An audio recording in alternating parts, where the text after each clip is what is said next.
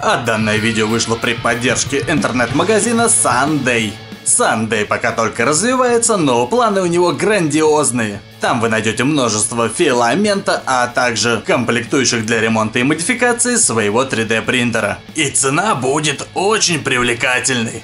При регистрации вы получите 500 рублей бонуса, которые можно будет потратить сразу же на первый же заказ, оплатив им до 50% от первой покупки. И от каждой покупки будет возвращаться 5% этими же бонусами. А если вы в течение года наберете более чем на 25 тысяч рублей, то примите участие в еженедельных розыгрышах, где будет разыграно, помимо всего прочего, два принтера Ulti Steels и один Picasso Designer X. Ссылка, конечно же, как всегда в описании, и думаю, что перейти и посмотреть вам не помешает.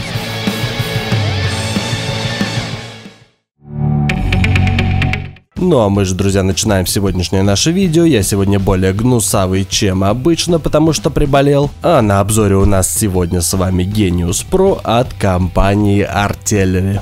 Это пруша со самой стандартной областью печати 220 на 220 мм. Кинематика построена на Open Build с колесах, в общем классика и, наверное, можно было бы уже сказать, что это некий клон Ender 3. Но на мое личное усмотрение это как бы и клон, и как бы не клон. И для того, чтобы в этом во всем разобраться, мы хотя бы должны посмотреть на сам принтер. Комплектация в данном наборе у нас максимально простая, но по большей части потому, что все уже собрано и комплектовать-то особо нечем. Книжечка инструкция, крепление для катушки филамента, а также сумочка со всякой мелочевкой, потом посмотрим в нее. И помимо провода питания у нас в наборе остается всего лишь навсего два основных узла, из которых собирается принтер, портал и база. И так как у меня с Харнетом от этой же компании были приключения летом, то я сразу проверяю, что в наличии имеются все шаговые двигатели, ремни и винтовые передачи. А если кто-то не видел, то ссылочку на почтовые разборки и сам обзор я оставлю в описании. Осмотрев все визуально, вроде бы я понял, что все на месте и очень надеюсь, что оно до конца обзора таким и останется. С базой тоже все вроде как чисто, видим торчащий вал двигателя оси Y. Извлечь ее из коробки оказалось на самом деле не так уж и просто, потому что вот она очень плотно там сидит. Тут же, кстати, я уже нашел валяющееся отломанное сопло обдува, но вроде как геометрически оно целое как деталь, нужно его только обратно вклеить. В итоге базу я извлек, как вы видите в коробке больше ничего нету у нас, но на дне коробки я нашел какой-то пластиковый обломок. И честно вам скажу, меня это достаточно сильно напрягло, потому что артиллерия, видимо, термопласт автомат себе в пользование приобрела и штампует пластиковые детали. А в прошлый раз, найдя пластиковый обломок, я потом обнаружил, что это достаточно значимая часть экструдирующего механизма. Поломка долго себя искать не заставила, и сразу я увидел, что на портале у нас раздроблен вентилятор обдува модели. Я думаю, что относиться к этому, конечно же, нужно плохо, и это ну, действительно не очень хорошо получить вот такой вот принтер, на котором что-то поломано уже изначально. И даже несмотря на то, что эта поломка незначительная и копеечная в исправлении, все равно обидно. С другой стороны, исходя из всего моего опыта общения с данной компанией, мы с вами можем на 100% быть уверены в том, что эта коробка у нас не предназначается для пресс-центра центра. И вообще артиллерии такой особенности распространения не имеют. Да, это сейчас небольшой плевок в сторону медведя, который блогерам шлет просто-напросто более жирные наборы, чем обычным покупателям. Ну а тут в принципе все по-честному, я тоже получаю с браком. Это на самом деле, ну не то чтобы приятно, но по сравнению с политикой медведя, так, наверное, даже лучше, потому что мы знаем, что такое случается – где-то что-то придавил, где-то на коробку там прыгнули, швырнули ее, кто-то залез вообще в коробку, там доставщик тот же что-нибудь открутил или забрал себе вместо этого там гречки насыпал. То есть, ну, такое случается, и мы к этому более-менее готовы. И раз уж мы с вами начали рассматривать портал, тут большой отличительной особенностью от всех остальных принтеров э, подобной кинематики и подобного строения является то, что не идут вот эти болтающиеся косы проводов, а у нас идут тут э, два шлейфа, э, которые вдоль направляющих у нас укладываются и соответственно загибаются при перемещении кареток. И выглядит это все очень, ну как минимум, ну аккуратно просто-напросто. Также очень сильно бросается в глаза то, что шлейф находится в какой-то тканевой кишке, и это придает э, достаточно такой законченный интересный вид. Экструдирующий механизм здесь практически полностью пластиковый. Я на эту тему у Хорнета в прошлый раз уже пердел. И в принципе, конечно же, мне это не нравится, тем более пластиковое подающее колесо. На них как бы и на металлических зубья стираются, а на пластиковых, понятное дело, долго не проживет. Но поделать, я думаю, мы здесь с вами уже ничего не можем. Производителям выгоден пластиковый мир, и этих решений будет становиться со временем только больше. И если принтер нас все-таки с вами устроит, то почему бы не записать данные узлы в список расходников, не закупить их заранее и просто своевременно менять. А я предлагаю башку все-таки не разбирать, потому что каждый разбор для нее может быть последним, а просто заглянем внутрь снизу и посмотрим, к чему бы еще можно было бы придраться. Тут мы с вами видим коммутационную плату. Я считаю, что коммутационные платы это такая вещь, которая для производителей удобна, а для пользователей не всегда. Но по факту это не более чем дело вкуса. На хатенде силиконовый носок присутствует. Термоблок у нас адекватный, ничего против не имею, в принципе не самый копеечный и теплопередача у нас за счет разреза тоже соответственно будет нормально отрабатывать. И здесь нам уже понадобится сопло с длинной резьбой. Датчик высоты у нас не оригинальный, но лично мое мнение заключается в том, что его конструкция не настолько сложна, чтобы не клепать его всем подряд в любом, соответственно, подвале. Потому что, что уж там говорить, далеко не все заметят какую-то разницу по точности. Самый силовой разъем стоит у нас криво, это напрягает, потому что здесь самый большой ток течет в принципе на данной схеме, но поделать с этим ничего не получится, потому что у нас проводочки коротенькие. А я все-таки решил снять крышку, что просто было интересно, как подключен шлейф. Крышка данная имеет чисто декоративный характер. Конечно же, она немного шлейф еще фиксирует пластиковым хомутом, но на самом деле в этом никакого смысла нету. И если у нас возникнет нагрузка, которая способна вырвать шлейф из разъема, а там именно разъем такой, как у вас вот там в ноутбуке можно встретить, и если нагрузка возникнет способная вырвать разъем, то данный хомут э, отлетит э, ну, гораздо раньше этого времени. Хочу сделать вам небольшое объявление. Мои друзья, кстати, отец и сын, открыли YouTube канал по 3D печати. И в отличие от меня, они не занимаются бесполезными изысканиями, а оживляют предметы при помощи пружин и сжатого воздуха. Двигатели, эспандеры, заводные игрушки и пружинное оружие ждут тебя там, поэтому перейди по ссылке в описании и просто подпишись.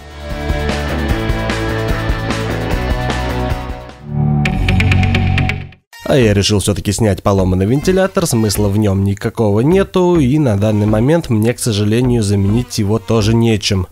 А если вам тоже приходил какой-то брак с Китая, то расскажите мне об этом в комментариях, я с удовольствием почитаю. И тут хочу заострить ваше внимание на том, что несмотря на то, что мир становится пластиковым, плита, на которой держатся колеса у нас металлическая, и кронштейн, на котором держится вся конструкция головы, тоже из металла у нас. Также обязательно подтягиваем все колеса у принтера с эксцентриками которые, потому что они находятся в ослабленном транспортировочном состоянии. Тут, кстати, еще концевики достаточно необычные, я просто таких раньше не видел форм-факторов, а как они надежны-ненадежны, я думаю, время покажет. И еще одной особенностью принтера, которая просто моментально же бросается в глаза, является то, что у него верхняя балка или так называемый турник сделан полностью из пластика, что, конечно же, опять же, порадовать нас не может.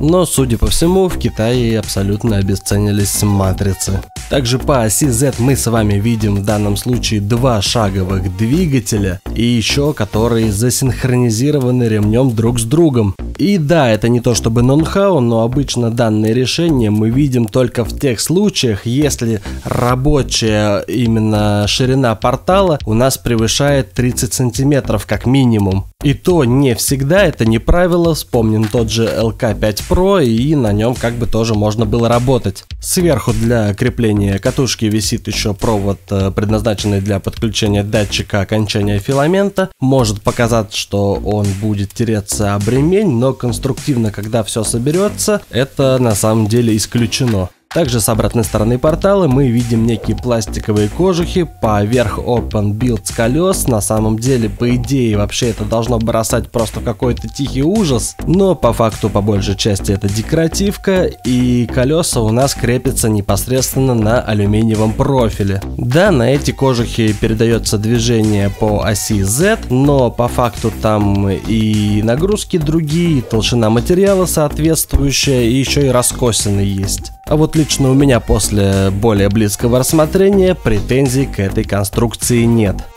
Регулировка колес здесь происходит при помощи подтяжки вот этих в торце шестигранников. Каким образом это происходит внутри, я точно не знаю, но в ближайшее время обязательно вскрою и посмотрю. Вот вам, кстати, пожалуйста, крепление двигателей оси Z к раме, оно пластиковое. На ходовой гайке у нас установлена артеллеровская антивоблинговая система, которая позволяет гайке делать некие движения, и при этом это не должно никаким образом влиять на траекторию движения каретки. И здесь на самом деле это действительно необходимо, потому что сверху у нас стоит э, синхронизация с помощью ремня, соответственно там подшипники, и описывать круг со смещенным центром относительно центра трапециидальной передачи у нас будет, конечно же, именно вот вместе соединение нашей ходовой гайки. Еще одна из особенностей этого принтера, то что здесь мы не видим вот этих здоровенных кос и у нас э, с базой провода соединяются посредством разъема. Ну, опять же, посмотрим насколько долго это проживет, но как по мне решение крутое. Также хочется отметить, что несмотря на пластиковую перекладину, расстояние между э, направляющими портала у нас и снизу и сверху в принципе одинаковые. И здесь на самом деле я был разочарован, потому что был на 100% уверен, что оно не сойдется. Но к большой, наверное, радости всех нас я оказался неправ.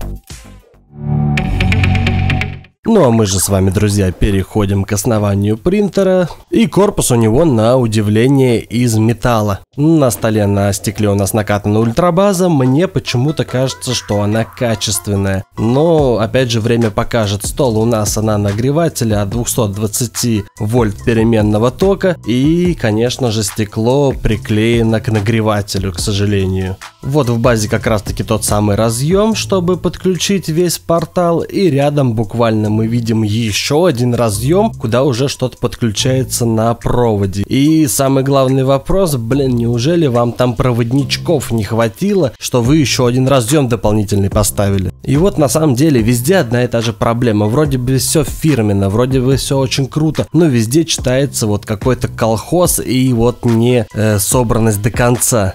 Вертихи калибровки стола удобные, крутить их при этом придется крайне редко. У нас стол ездит на четырех колесах, эксцентрики только с одной стороны. В общем, можно сказать, что классическая конструкция а также к нагревателю приклеен теплоизолирующий материал, причем практически по всей площади, а не как обычно кусочек маленький посередине. И это при том, что стол мощный, он в любом случае сможет себя прогреть, даже быстро. Очень мне понравилось, как организовано питание стола. Во-первых, это провод с прямоугольным сечением, который расположен таким образом, что э, как бы достаточно адекватно сгибается, не занимая много пространства, и при этом э, для него имеется паз специальный, э, в который этот провод ложится. Кнопка включения принтера находится сзади, и это на самом деле в данном случае я считаю неким упущением. Потому что слот под SD-карту и флешку USB-шную находится спереди, так же как и экран управления. Ну, вот вроде бы смогли, но смогли опять же не до конца. По поверхности, думаю, тут все понятно более или менее. Давайте посмотрим, чего же у нас тут под капотом. Мне почему-то втемешилось в голову, что нужно обязательно снять ножки, хотя этого делать было вовсе и не обязательно. В общем, крышка поддалась, я, соответственно, повис на проводе вентилятора, и, конечно же, это не вызывает ничего, кроме как пренебрежительно за него немного дернуть. По итогу на корпусе у меня остался разъем с платы, это конечно же не проблема, и мы просто обратно его вернем, и также он на соплях будет там болтаться, потому что это не такой уж ключевой узел по сути, но осадочек, как говорится, остался. Материнская плата здесь от артиллерии, какая-то разведенка их самостоятельного пошива, причем достаточно мало деталей у нас вообще на плате печатной тут находится. Драйверов здесь не 5 штук, как должно быть по количеству шаговых двигателей, а 4. Соответственно, делаем вывод, что у нас на CZ э, двигатели хорошо, если последовательно подключены, не так хорошо, если подключены параллельно, но тем не менее это факт. Вон мы видим, что от стола пошло управление по двум проводам на реле бесконтактное. Тут мы начинаем присматриваться, видим какой-то пластиковый непонятный кожух, и, как мне кажется, он здесь не просто так находится, а для того, чтобы скрыть какой-то срам. Привет, я крем-суп с лесными грибами и сухариками. И я отправился на поиски приключений. И я очень вкусный. Да что ты делаешь? Перестань. Это уже не смешно. Отпусти меня, псих. Ну, прощайте, друзья. Кажется, на этом все. Но это только кажется, потому что на деле все только начинается. И самое главное, это простота приготовления. Высыпаем содержимое в супницу, заливаем кипятком и немного ждем. И особенно приятен этот суп во время болезни. Я вам желаю приятного аппетита и продолжаем смотреть видео. Об этом мне еще говорит то, что в этом же корпусе находится переключатель режимов работы блока питания. То есть, ну, вряд ли это какое-то фирменное решение, и под корпусом мы видим под чехлом вот эту вот артиллерскую эмблему. Собственно, это какой-то колхоз, вот у нас полупроводник в каком-то чехле. Если вдруг кто-то знает, зачем транзистор засовывать в чехол, то отпишитесь мне об этом в комментариях. Ну а в общем и целом, естественно, все достаточно стандартно, все достаточно просто. У нас есть плата управления, экран для этой платы управления, также там идет шилд на USB флешку и SD-карту наружу торчит. А блок питания здесь не очень мощный, потому что стол питается от 220 вольт, соответственно блок питания всего лишь на 200 ватт, и здесь это на самом деле с запасом дано драйвера без каких-либо обозначений и с немалой крутилы и настораживает, что у них радиаторы маленькие, но при этом двигатели шаговые и вообще сам принтер работает крайне тихо. И это 100% не 4988. На борту у нас стоит STM32F401, и на самом деле, если не придираться, если не докапываться, то принтер как принтер вполне обычной электроникой, вполне нормальной, я бы сказал даже, электроникой. Конструктивно где-то кажется, что он хиленький, но при этом надо еще за ним понаблюдать и посмотреть, как он покажет себя в работе. Но, как минимум, на данный момент времени лично мне не кажется, что это клон Ender 3. Я думаю, что это уже, ну, что-то, да, сделанное, может быть, на основе, ну, потому что OpenBuild с колеса, как бы, вот кинематику придумали, и ее очень удобно использовать. Что касается сумки, так тут у нас небольшой набор, но в принципе не так что и плохо. Два запасных колеса, а, полноценная USB флешка и два хомута. Честно говоря, так и не понял для чего мне понадобятся тут хомуты. А также есть запасное сопло. Имеется запасной шлейф и запасная кишка для него. Мне на данный момент сложно представить ситуацию, когда понадобится именно шлейф заменить, потому что если что-то непоправимое и произойдет, то скорее всего случится это с разъемом. Части еще есть подставки для катушки, также набор шестигранных ключей, также USB провод AB, чтобы G-коды с компа отправлять, он длиной сантиметров таки 30, поэтому, ну, видимо, надо с ноутбуком прямо у принтера сидеть. И гаечный ключ 8 на 10. Гаечный ключ мне понравился. В нем действительно ощущается вес, чувствуется металл. И его себе я в любом случае оставлю. Он еще хромированный такой, блестящий. Я вообще вот сейчас сижу и думаю, лучше бы я обзор на этот гаечный ключ снимал, чем на принтер. Ну а мы же, друзья, переходим к сборке. Книжка у нас на английском и также у нас еще есть страница на DE. Не знаю, кто это такие, но выяснять, честно говоря, не собираюсь. Но благо собрать принтер было достаточно просто. Я закрутил по сути 4 болта и подсоединил пару проводов к шаговым двигателям. Крепление тут какое-то на роликах, на подшипниках, хитрое, премудрое. Честно говоря, если бы классическое решение оставили, ну, как по мне, было бы гораздо просто лучше. Мы же с вами печать начнем с белого пыла, вы видите, насколько мне удобно заправлять в первый момент времени, но опять же все вполне терпимо. Прежде чем начать печатать, конечно же, нужно его откалибровать, ну и как минимум на интерфейс вообще посмотреть управление. По интерфейсу, как и всегда, хочется задать вопрос, зачем вы это вообще делаете и почему нельзя стандартный марлиновский оставить и уже самим ничего не придумывать. Но с другой стороны, мне было все абсолютно понятно, и опять же, из того функционала, которым мы будем пользоваться в постоянном ежедневном порядке, здесь абсолютно все присутствует. Кстати, голова имеет подсветку под сопло, причем управляется она с экрана управления, мать его. Конечно же, светит это все не совсем под сопло, но попытку, я думаю, мы зачтем. По калибровке все достаточно привычно, но на самом деле калибровка, я думаю, буквально один-два раза максимум, когда там при каком-нибудь большом переезде мы согнем раму об коленку, потом выгнем обратно, тогда да, придется перекалиброваться. А мы сначала выставляем стол в горизонталь, соответственно, и после этого снимаем карту высот датчиком высоты, выставляем Z-offset и все, наслаждаем, печатаем. Э, хочу заострить внимание на то, как принтер вообще перемещается, двигается. Не знаю, как правильно мысль выразить даже на самом деле здесь, но вот как-то он э, достаточно резкие перемещения у него, при этом очень тихие, уверенные что ли, и это все происходит, ну, не так, как у других принтеров. Не знаю, опять же, вот как это словами передать, но вот как-то это все происходит интересно, и камера это вообще не передает этот эффект. А у нас с вами настало время наконец-то попечатать. Начнем печать с тестовой модели, которую предоставил нам производитель 3D принтера. Да, по белому филаменту мало чего скажешь по поводу качества печати, и камера будет все это засвечивать, э, объект будет э, в плане гореть. Но, к сожалению, ПЛА у меня остался только белый, и это только, опять же, сделает нам дополнительный повод обязательно зарядить туда PG. Потому что, вероятнее всего, этот принтер в основном с PG работать-то и будет. Композит сюда не зарядить, потому что подающее колесико сразу же сточится. Флексы более капризные, с ними надо еще повозиться, да и скажем честно, не будет же этот принтер все время флексами печатать на постоянной основе. ABS тоже не подходит, все-таки камера какая-никакая нужна, если мы более-менее большую деталь печатаем. Поэтому я думаю, что этот принтер исключительно у нас для PG и создавался.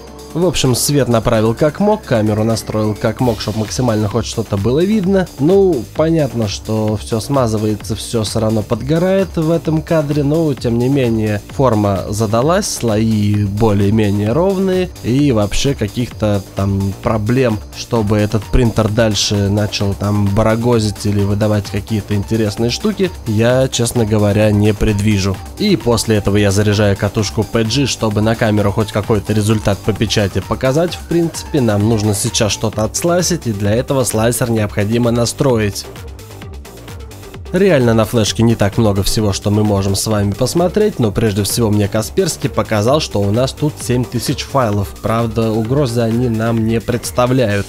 Скрытые файлы я тоже проверял, по факту обнаружил только 4, это PDF с инструкцией, 2 тестовых G-кода и установочной куры. PDF с инструкцией абсолютно такая же, как в бумажной версии, только в бумажной версии картинки еще четко прорисованы, а здесь особенно скрины из программы практически не читаются. По инструкции можно настроить слайсер, но по факту инструкция даже для этого не нужна. Мы просто-напросто выбираем э, кастомный принтер, задаем область печати и задаем э, диаметр прутка стандартно 1.75. И по сути потом в профиле некоторые изменения для PG вносим без излишеств, без каких-либо предварительных там печати пирамидок. Просто я на самом деле ну, уверен, что оно и так запечатает, и даже без обдува, если ну что-нибудь по площади хотя бы небольшое большой печатать. Принтер перенес на кухню, потому что параллельно данному процессу печати и тесту данного принтера я еще другое видео звучу. Ну и процесс пошел, я думаю, что уже даже на данном моменте видно, что проблем с самой печатью у нас каких-то прям серьезных не предвещается. Принтер будет работать, будет класть вполне аккуратные слои. И я думаю, что это на самом деле даже будет происходить до тех пор, пока не сотрется подающее колесо, либо не сломается лапка прижимная в экструдере, либо еще какая-нибудь пластмасска не выйдет из строя. По качеству печати я считаю, что без подбора параметров конкретно под материал, конкретно под модель, принтер справился очень даже хорошо. Соплей нету, есть только пару тонких волосинок внутри, которые пальцем просто отлично убираются. Слои лежат ровно и, честно говоря, данное качество печати вот при первом включении меня на 100% удовлетворяют. Далее я хочу отсласить и закинуть на печать чего-нибудь еще, но флешка мне не позволяет совершенно закинуть на нее ничего. Вот идет копирование, оно на каком-то этапе останавливается и просто зависает. Причем, что размер файла реально 4 мегабайта. Сейчас вы уже видите мою не первую попытку сохранить G-код на флешку, в итоге я по-разному форматировал и так ничего и не добился. В итоге пришел к тому, что решил, что флешка фирменная померла и решил печатать со своей. И на мою, естественно, файлы скидываются без проблем, но сам принтер уже флешку не читает. Возможно, есть какой-то секрет, которого я не знаю, я пробовал в разных системах форматировать, но тем не менее ничего не вышло. И по итогу я, естественно, торопился, разбираться было некогда, и я перешел на SD-карту. Тут уже, конечно же, печать пошла, сам процесс печати меня полностью удовлетворяет, но, к сожалению, без нюансов и в этот раз у нас не обошлось. На этом, друзья, я думаю, пора уже заканчивать. Принтер, э, как вы поняли, рабочий, печатающий. В плане там качества и то, что касается печати – я думаю, что никаких вопросов, никаких заморочек тут нету. И в принципе я доволен. Ну вот что касается всего остального и тех нюансов, с которыми я столкнулся буквально там за пару часов, собрав и попользовавшись вот этим агрегатом, я думаю, что тут, конечно же, вопросики возникают. И прежде всего вопросики возникают э, потому, что эта пруша стоит 26 тысяч рублей. И я даже думал бы изначально, и я изначально строил там какую-то речь, какой-то сценарий, я думал так, что если вдруг окажется, что он вообще абсолютно без каких-либо там углов, за которые можно зацепиться, без каких-либо проблем при печати, при эксплуатации, в принципе, можно купить такой принтер за 26 тысяч, попользоваться им, там, допустим, честно э, год, э, сделать потом либо полностью обслуживание его, ну и в течение года там чуть-чуть кое-что по мелочи менять, либо, допустим, продать на вторичном рынке, скажем, там за пол цены, за треть цены и купить новый. Ну, такой вариант тоже для кого-то будет приемлемым, да, это все-таки домашний сектор, это, возможно, там с ребенком работа. Э, если человек э, более-менее зарабатывает, то он эти деньги, в принципе, считать не будет, он просто заменит и все будет хорошо. Но учитывая, что это пруша за 26 тысяч, и у которой возникают нюансы, да, не по печати, а по большей части по организации, я как бы, ну, рекомендовать ее, к сожалению, к покупке, как вы сами понимаете, не могу. Но опять же, решать не мне, решать только вам. А на этом а, я с вами прощаюсь. Вы сами все видели, это было там больше там 20 минут какого-то изложения моего, все про этот принтер, все, что я думаю. Поэтому вы все видели, я все сказал. Пока-пока.